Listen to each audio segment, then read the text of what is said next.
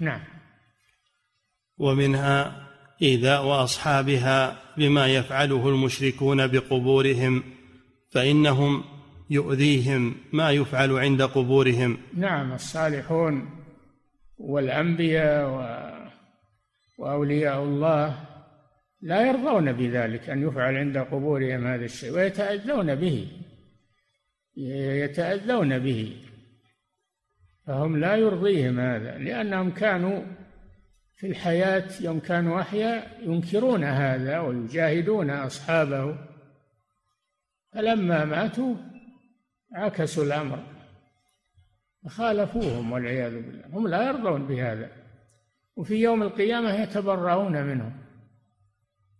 تبرأنا إليك ما كانوا إيانا. يعبدون. الملائكة يتبرؤون ممن عبدهم الأنبياء يتبرؤون ممن عبدهم وأنتم تقرؤون. ما قاله أو يقوله عيسى عليه السلام إذا سأله رب العالمين أنت قلت للناس اتخذوني وأمي إلهين من دون الله؟ قال سبحانك ما يكون لي أن أقول ما ليس لي بحق. إن كنت قلته فقد علمته. تعلم ما في نفسي ولا أعلم ما في نفسك. إنك أنت علام الغيوب. ما قلت لهم إلا ما أمرتني به. أن اعبدوا الله ربي وربكم. كنت عليهم شهيدا ما دمت فيهم.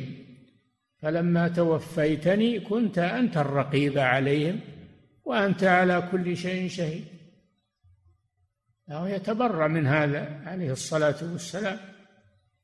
يوم القيامة على رؤوس الأشهاد ويفتضحون في في هذا الموقف المخزي والعياذ بالله. وكذلك عباد القبور. سيحصل لهم هذا يوم القيامة. ويتبرأ منهم الصالحون والأولياء. نعم.